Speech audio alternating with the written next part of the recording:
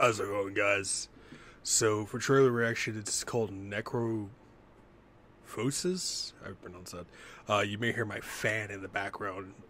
I finally got my brand new fan. I got like one of the bigger ones. So I was using a desktop fan and a, like a small little AC to try to keep my room cool, and it was just not happening. So I got the bigger fan from that I bought off of Amazon. It works perfectly, so you may hear the background noise of that. But I'll make sure I mute my mic for when we actually do the actual reaction itself. Um, of course, you guys will see this video sometime tomorrow, like later in the afternoons or that when I get off of work and stuff. But uh, let's check this out.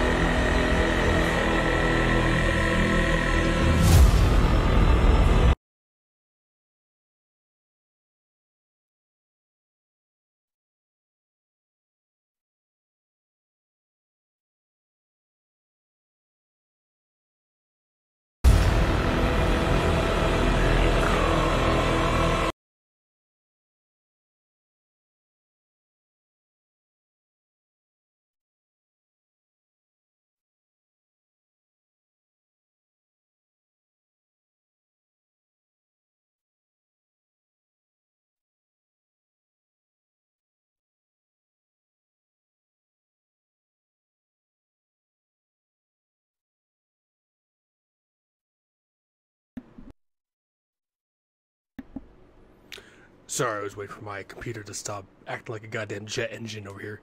Does that confirm that Cthulhu is dead? Having his giant skeleton in the background? Because it's definitely some form of necropolis type of city. Uh, games like these kind of remind me of two older games back in like Windows 95, Windows 98 era. Some of you weren't even born around that time to even know what those Windows versions are. When dial up was a thing and AOL and all that shit. You may even hear your parents talk about it. my generation knows what that's all about. Um, but it reminds me of the two PC games. One was called The Lighthouse, and the other one was called The Myst. And it was it was like spelled like M Y S T. I'm pretty sure it was spelled like that. Uh, those these type of games kind of remind me of those. I love the game The Lighthouse.